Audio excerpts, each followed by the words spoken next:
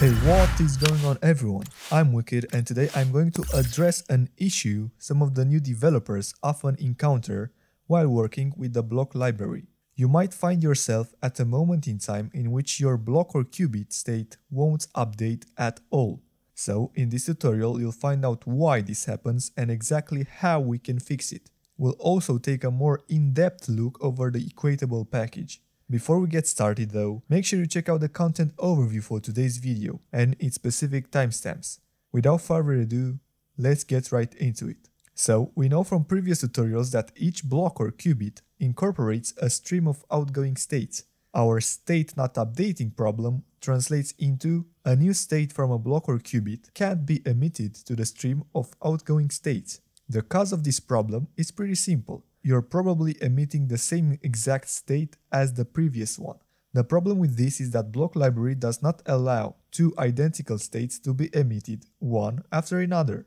You can imagine this rule exists because of optimization techniques. Why would you want to emit two identical states one after another after all? You probably don't want that, but the code you wrote unfortunately translates into that. First and foremost, you need to understand how Dart compares two objects since that's how it also compares two states in order to see if they're equal or not. From the documentation, we find out that two objects are equal if and only if both are the same object. Unfortunately, this may not seem really straightforward and some people misinterpret it. So, let's say we have a myClass class containing an integer value. Inside the main function, we'll create two instances of this myClass object, both having the value set to 1.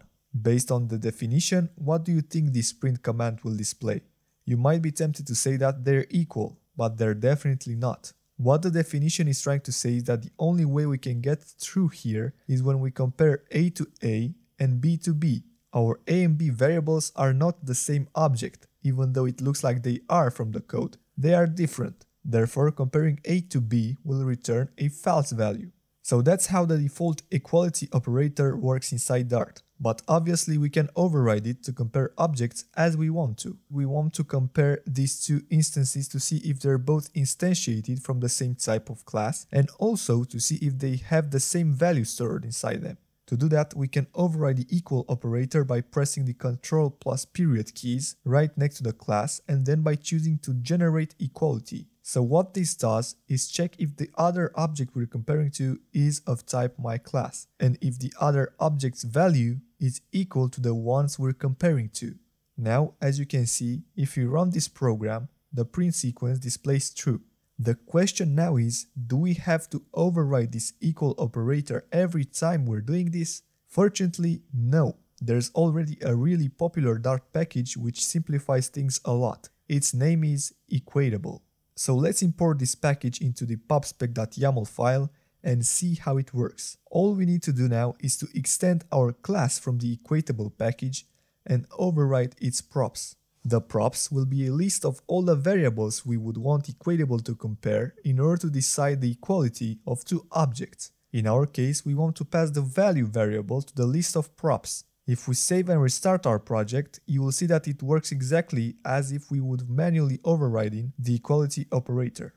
Let's test it even further. What if we have different values?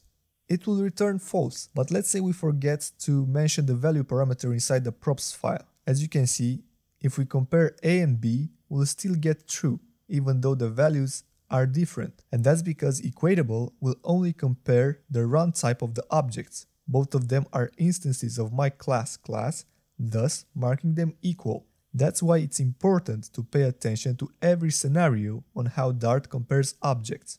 Remember that each state from inside your blocs or cubits is still a class nevertheless. So everything we discussed applies to every state too. Coming back to our state not updating issue, we said that the cause of it is mainly the fact that the state we want to emit is actually equal to the previous emitted one. In order to understand this in more detail, I have created a settings page containing two switch list tiles. One serving for an eventual app notification feature and the other one serving for an eventual email notification feature. So each of these two tiles can be either on or off depending on the user's preference to receive app or email notifications. To manage this page, I have also created a settings cubit, a cubit which will emit a single setting state each time one of the tiles are toggled. The setting state class will contain two boolean class fields, app notifications and email notifications. By default, the initial state of the cubit will be setting state with both of the fields set to false. I have also created two functions inside the cubit. One is triggered when the app notification tile is pressed and the other one is triggered when the email notification tile is pressed. Both of these two functions will emit a single state according to what the new value of the boolean values will be. Inside the UI, of course, I use Bloc Builder in order to rebuild the switch list tiles according to the specific values found inside the setting state. I have also added a bloc listener at the top, in which I'm showing a snack bar to see that the values of the setting state correspond to what's shown on the screen. The settings cubit is provided globally above the material app widget, thus being available to all of our screens. Remember if you have doubts or don't understand a line of code, you can find the source code for this tutorial into description. And you can also leave me a comment right below the video. Okay, now let's investigate the mistakes some of the users of Bloc Library make while coding, mistakes that lead to the state not being updated anymore.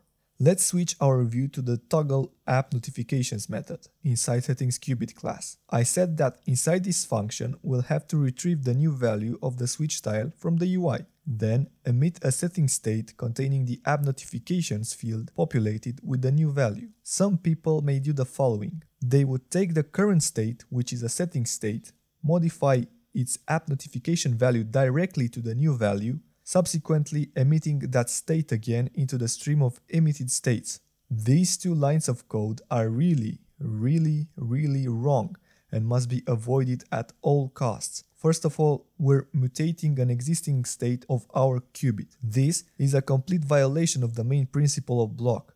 Remember for every interaction user makes with UI, there should be a new state emitted from the bloc or cubit. So you should never, but never, modify or mutate any already existing state from inside a bloc or cubit. You can access its value using the state operator right here, but you should never modify it. The biggest problem isn't however this line of code, but rather the next one.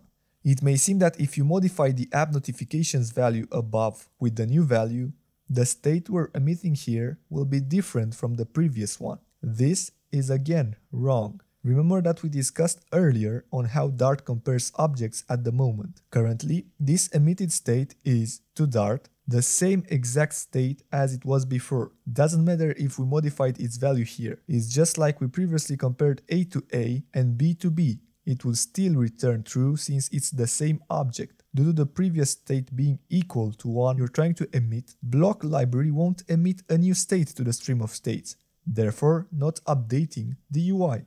This can be noticed if we save and run the project right now. As you can see, if we click the switch tile, nothing happens. In order to fix this, we need to erase these lines of code. I don't know if you noticed, but inside the setting state class, I have this copy with method I generated by clicking Ctrl plus period next to the class name. If you're not familiar with this method, what it essentially does is create a new instance of a setting state by copying the entire previous one and then inside the method's parameters you can mention which field you want to modify after it gets created. In our class, we can emit a new state by calling state.copyWith, which will create a new setting state and copy the content from the previous one to the new state, by also setting up the new value of app notifications.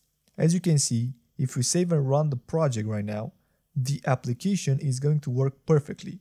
As I told you before, another mistake users do is that whenever they use the equatable package, they forget to place the values inside the props variable. In our case, if we were to do that, we would have set our setting state to extend equatable. Then let's say we forgot to write the app notifications variable inside the props. This means that Dart will only compare two setting state by checking only the values of email notifications variables. So for example, if only the app notifications variable modifies, Dart won't care about it and will still return true while comparing the two states. So if we save and run this project and click the switch tile for the app notifications feature, it won't do anything since Dart thinks it's the same state as before and won't emit it. So please pay attention while working with equatable package and with how Dart compares objects in general. This was a tutorial for today. I hope you like it. If you did, please make sure you smash that like button, share the video with all your colleagues and friends, and subscribe to my channel. Also, if you have any questions, please write me a comment down below and I'll reply as soon as possible. Until the next tutorial, stay safe, take care, Wicked is out, bye bye.